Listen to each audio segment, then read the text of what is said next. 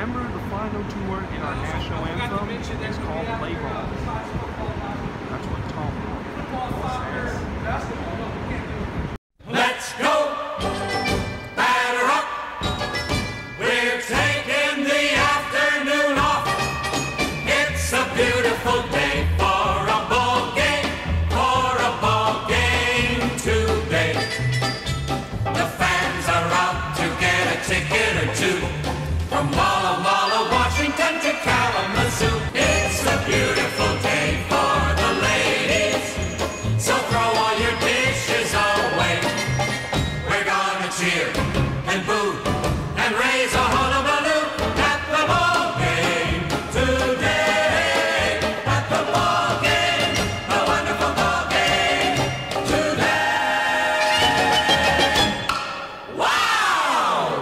Sometimes I needed binoculars already just to see the players' numbers.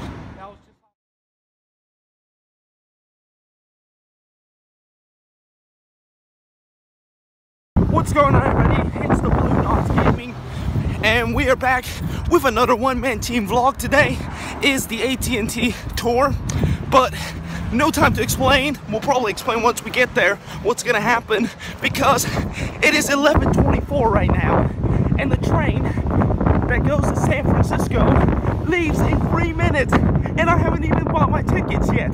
So I'm literally just scrambling myself to the train station right now to get my tickets, or else we're not gonna make it to the tour because the next train is at 12:15, and by then, then when we get there, it'll be 12:30, and the tour starts at 12:30. So, yeah, just hustling right now. No time to talk.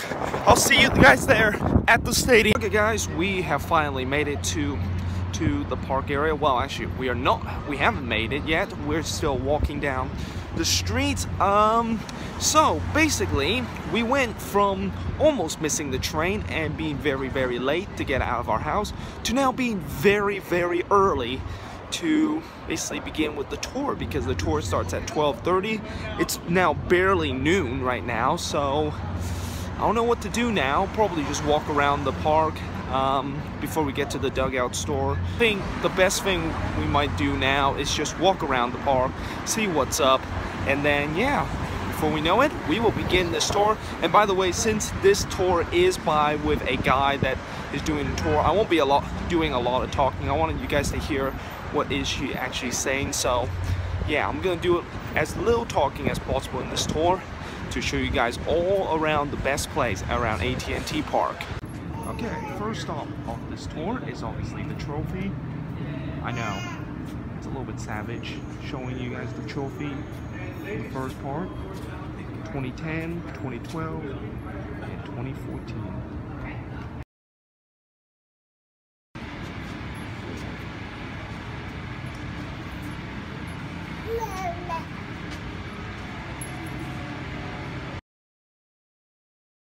They first came here to San Francisco they played at Seals Stadium. San Francisco Seals, we had a, a team called the San Francisco Seals back then. After that, they played at Candlestick Park. They shared the ballpark with the San Francisco 49ers football team. While they were building this stadium, that's where they were at Candlestick Park. So they started construction here in 1997.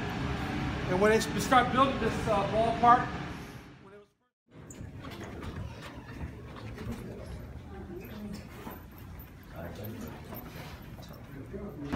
All right, so at the very top of the ballpark, just like all other stadiums, if you go to other stadiums, uh, like for instance Candlestick Park, when I used to go to the games over at Candlestick Park, very top part of the ballpark, I didn't have a great view. Sometimes I needed binoculars already just to see the players' numbers.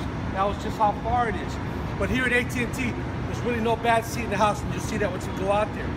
What I like to do is, uh, folks will go out there, folks like to take a few snapshots of about the ball.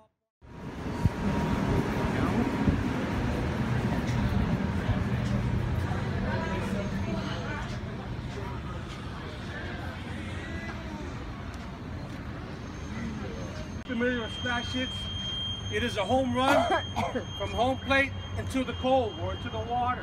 All right, it's got to climb a 25 foot ball and go across about 365 feet into the water. We also have splash hit counter, and you see that over there by the Levi Landing site. We have 70 splash hits. Remember, this ballpark's been open 16 years, and we only have 70 splash hits. So that also tells you that this is a pitcher's ballpark, not a hitter's ballpark. We have water cannons in it. It's going to shoot up water, and a, uh, a ball going to go off. And you know, there's a splash hit. All right. Right below the Levi Landing, those four archways. AT&T Park with the Giants organization, we still go old school a little bit because we have a crew that works behind and put up scores of the games that's going on in Major League Baseball besides the game that's going on here at AT&T Park. Right around that to the Giants scoreboard and right below it at center field. That used to be a storage area. Giants came up with another idea. We're going to change that storage area to the live garden. In the live garden to grow their own fruits and vegetables. They also have a restaurant in the live garden, so what they grow, they use at the live garden at the, at the restaurants down there. The glove that they used back in the early 1900s, the four-finger glove. It's 518 feet to the of the glove. It's 501 feet to the Dockers deck sign. Fans also ask that anyone, anyone ever hit the glove or got close to it. No one's ever hit the glove. Two people got close to it. He's in the Hall of Fame. The 51, that's called the shot heard around the world. Bobby Thomson's home run in 1951. That's when Russ Hodges was calling that game. And then 42, everyone wears number 42 in honor of Jackie Robinson each year in Major League Baseball. This is the Lefty O'Doul part, All right, Lefty O'Doul Bridge. So landmark here in San Francisco. What's interesting about the Lefty O'Doul Bridge is that you might notice that the weight's only on one side there. So when it does raise up, it's not like when you one bridge where it's it's actually up. It's going to come up from that little White House there, and it's going to raise in an up and down direction right there. All right. When that bridge comes up or comes down, an air raid sound goes off,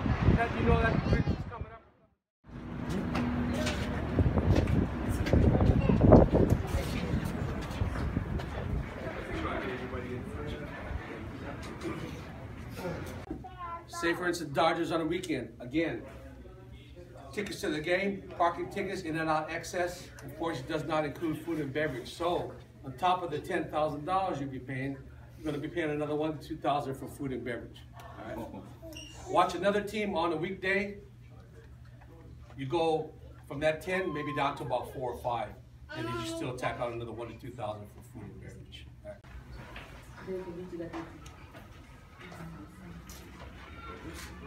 This is number one suite. Great view of McCovey Cove, Port of Oakland across the bay, Berkeley Hills to your left, Bay Bridge, Treasure Island to your left.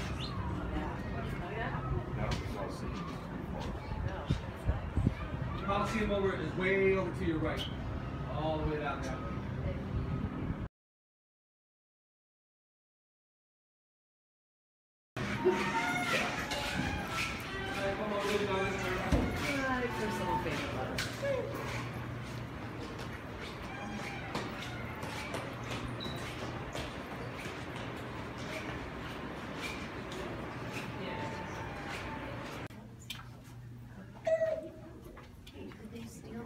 The bobblehead idea from us?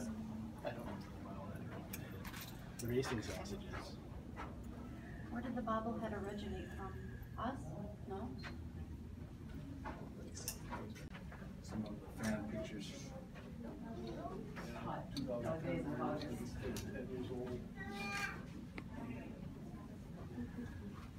You might know.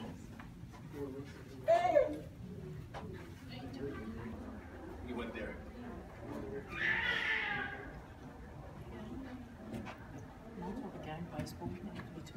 How he, was here for a long time? He was here for a long time.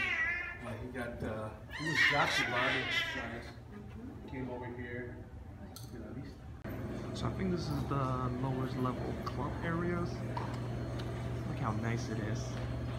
It's just as nice as the Levi Stadium one that we did a couple of weeks ago.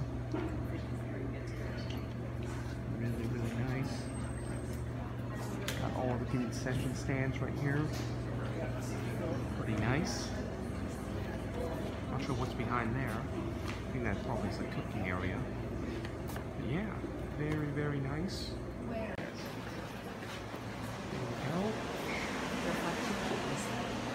we go. There pretty nice. So does the guy, the, Got the couch here, all the visitor welcome. Does he just put anybody anywhere they No. want to go, or? Starts from the All Star. Hmm. Wow. Got the clock here. First one here. And then you got the timer. Wow.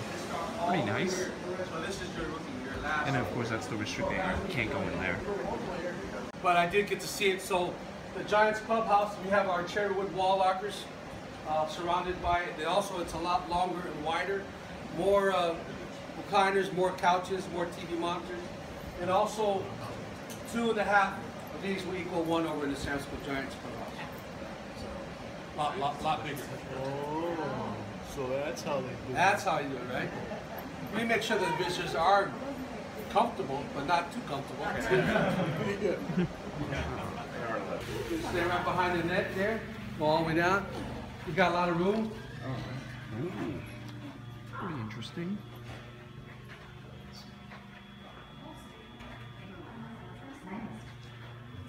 It's not bad. Got obviously the, the grass there. We don't all fit. I'll make Pretty sure you nice. We can stop by that one-way window and we can watch, take a BP without disturbing the players. All right. So we can say we can see in, but they can't see out. Players start to come here at the, in the ballpark and start batting practice a little early. So, for instance, our game is, is again night game is 7:15. Players start to come here at the ballpark one one or two o'clock already in the afternoon. They prefer to stay four hours a day, maybe six or seven days a month. Oh, oh okay. Depending on how many days I want to work. Wow. No, thank you. Yeah. Like, like oh, I want to work this week, and they'll be like, come on down. I look Visitor at the schedule and say, well, add me that one, that one, that one, that one. Otherwise, I'm not working this whole week. Okay. Taking off. Can't even walk on the grass. Well, not the grass, but the warning track. Okay. Pretty nice. During the season. So you guys can see right there, up somewhere there in that section. That is where we sat last time. And we're looking at this on ground level. Pretty nice.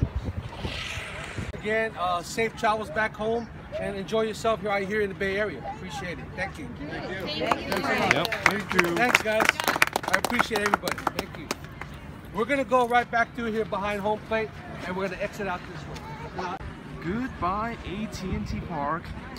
Hopefully we'll come back for the Nats game on probably next week, but we definitely won't be standing here. We'll be probably up there somewhere, but hopefully we'll be back for the Nats game next week. I think next Friday. Alright guys, that is pretty much it for the tour. As you can see, I am right now kind of like kind of like right beside one of the 24 for palm tree here at Willie Mays Plaza. Um, so as I said before, when we went to the visitor dugout, we are gonna go to Dodger Stadium to do their tour, starting I think on on Sunday. I think it's this Sunday, and yeah, it's gonna be pretty exciting. I mean, obviously there's gonna be a lot of things different. I'm pretty sure there's gonna be something different between this tour and the Dodger Stadium tour. They certainly might have some very very good kind of feature that we might not have, but pretty exciting. We're gonna see how it's gonna be, and yeah, I'm, I think that is pretty much it. I don't think there's anything I can guys show you on this special day zero tour. I, I actually didn't even mention the word day zero in this vlog because you know I was pretty busy coming into here.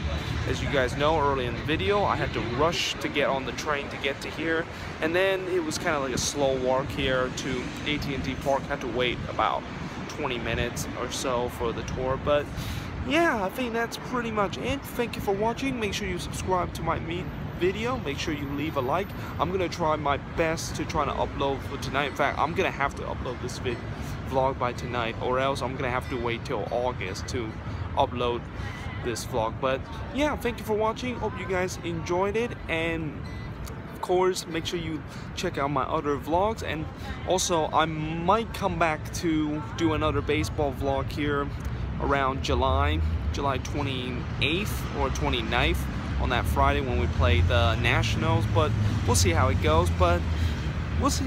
Again, thank you for watching, watching this video vlog. Make sure you leave a like, subscribe, and I'll see you guys next time.